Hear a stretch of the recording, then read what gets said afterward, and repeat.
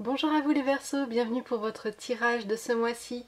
Pour ce mois-ci, nous allons utiliser le Voyageur sacré de Denise Lynn, le Dixit 6, c'est le Dixit Memories. Je vous mets les références de ces deux jeux juste en dessous en barre d'infos et on utilisera un tarot et un le normand, le reflet de lune le normand et le Lily White Tarot. Ce sont deux jeux que j'ai créés, vous les retrouvez sur, euh, sur ma boutique, sur mon site, dont vous avez la référence en dessous en barre d'infos. Alors je vous invite à aller voir votre signe lunaire ainsi que votre ascendant pour compléter votre tirage. Ça vous donnera vraiment un, complément d'information pour tout le mois.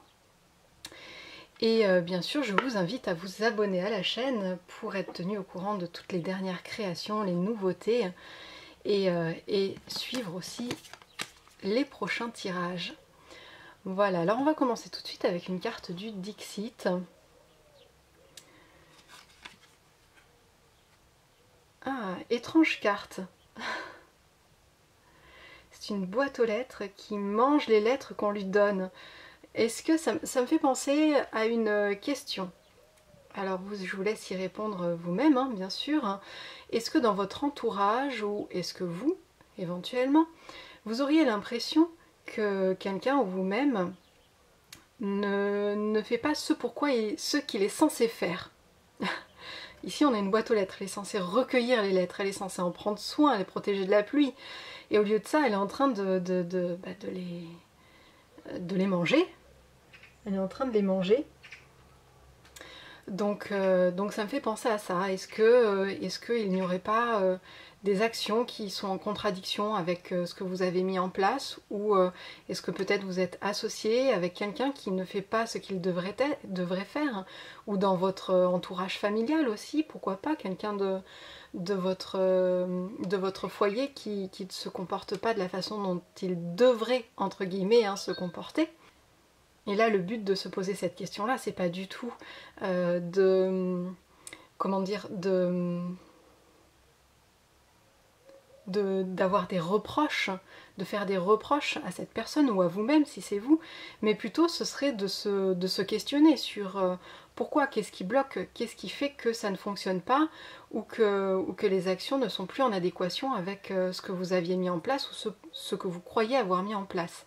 Donc là c'est intéressant en fait, euh, bah peut-être quand on, quand on fait quelque chose qui ne correspond pas à ce que l'on était censé faire, euh, pourquoi ne pas utiliser ces, compétences que l'on a dans un autre but? Peut-être qu'on n'est pas censé être une boîte aux lettres. On, ressemble à une boîte aux lettres, euh, mais peut-être qu'au fond de nous, on n'est pas une boîte aux lettres. Euh, peut-être que justement, on sera un très bon foyer puisqu'on a du feu à l'intérieur, donc peut-être se remettre à l'intérieur de la maison pour apporter de la chaleur au lieu d'être à l'extérieur et de, recevoir des lettres. Bon, ça peut être une interrogation en fait, hein, de vraiment se questionner là-dessus. Euh, de pourquoi les choses sont faites, pourquoi ça ne fonctionne pas, pourquoi il y a un dysfonctionnement. Alors cette carte, elle me fait aussi penser à autre chose, c'est peut-être aussi un trop-plein. Trop-plein de communication, trop-plein de euh, sollicitations. Euh, là, on voit qu'il y a quand même pas mal de lettres autour de vous, et c'est peut-être quelque chose qui, au bout du compte, d'avoir plein de mails, de recevoir plein de messages, d'avoir plein de mails, c'est peut-être une surcharge, et au bout d'un moment, bah, cette surcharge, elle, elle vous provoque à vous un dysfonctionnement. Alors euh, prenez soin de votre santé pour euh, le mois qui vient, bien sûr. Ne vous épuisez pas. Et puis euh, peut-être aussi faites attention à réagir aussi avec, plus de maîtrise. voyez un petit peu quand ça commence à être trop trop trop, de dire stop avant de commencer vraiment à, à, à ce que ça dégénère. Voilà. Donc attention aux sursollicitations pour vous.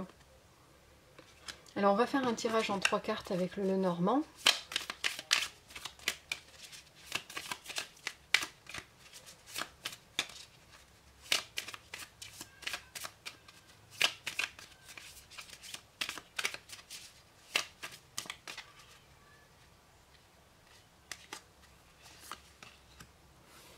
La carte des souris.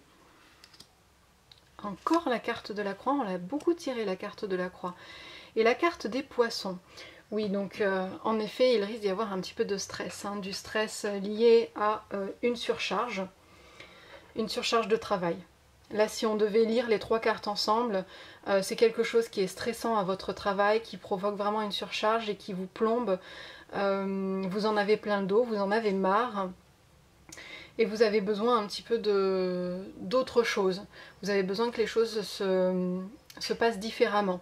Alors il y a beaucoup d'échanges parce que là on est avec la carte du poisson, donc on a cette idée de, multi, de multitude.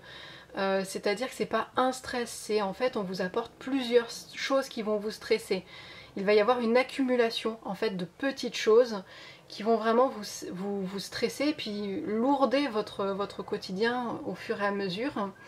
Donc avec la carte de poisson, on a aussi euh, l'idée du coup d'essayer de vous décharger en faisant appel à d'autres personnes, à confier certaines tâches à d'autres personnes. Il y a des échanges qui se font avec la carte de poisson.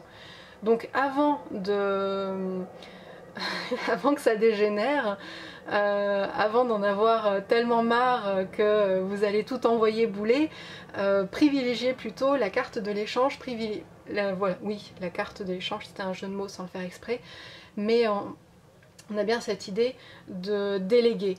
Déléguer, proposer à d'autres personnes de, vous aider, euh, de prendre en charge par exemple bah, si c'est un trop plein de messagerie, de messages, bah, peut-être le confier à une autre personne, euh, décider aussi de prioriser certains messages, vous acceptez de ne pas répondre à tout, vous acceptez que euh, vous laissez de côté une partie parce que pour vous c'est trop, il va falloir un petit peu vous écouter et faire, faire attention à euh, ce que vous pouvez supporter et ce qui va en fait euh, être la goutte d'eau qui fait déborder le vase. Donc il ne faut pas en arriver jusque là. De toute façon, voilà, vous êtes prévenu aussi avec le tirage. C'est à ça que ça sert un tirage.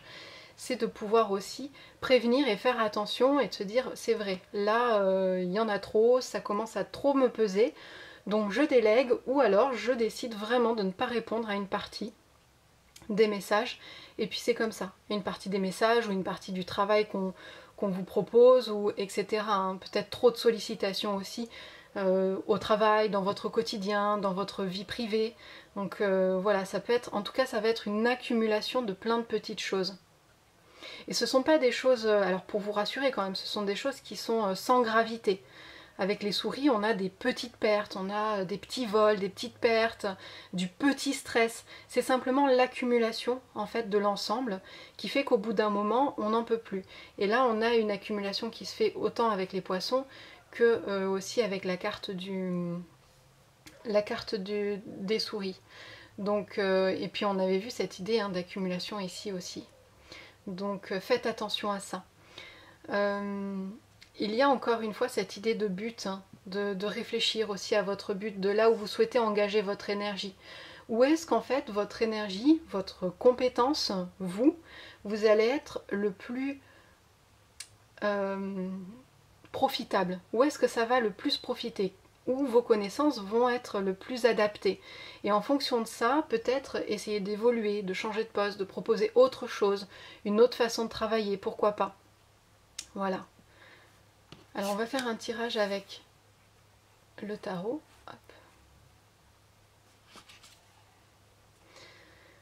On a le 5 de denier. Et on a le pendu. Alors, le 5 de denier, on a cette idée de, de perte aussi qui est présente on est dans un cycle où on perd peut-être quelque chose, c'est pas perdu pour toujours, c'est pas une mauvaise chose. On vous invite aussi à vous éveiller euh, à quelque chose de plus spirituel avec le 5 de façon générale. Donc il y a peut-être une perte matérielle et un éveil spirituel qui va se faire, une sorte de transition entre les deux. Euh, le 5 de denier aussi va vous parler de du manque, euh, de la négligence. Alors là où j'en viens à la négligence, c'est par rapport aussi à votre santé, euh, autant physique que, morale. Justement, comme je vous disais, de ne pas attendre d'avoir la goutte d'eau qui déborde, de ne pas attendre d'être vraiment en surcharge de travail ou euh, de stress pour, pour que ça casse en fait. ici, on vous invite vraiment à faire attention à vous parce qu'on a une carte de négligence. Donc, essayez le plus possible de faire attention à vous. On a avec la carte du euh, du pendu qui est ici, une idée aussi de, sacrifice. Mais le sacrifice que vous devez faire doit être bénéfique pour vous, c'est-à-dire qu'il doit être dans un but personnel.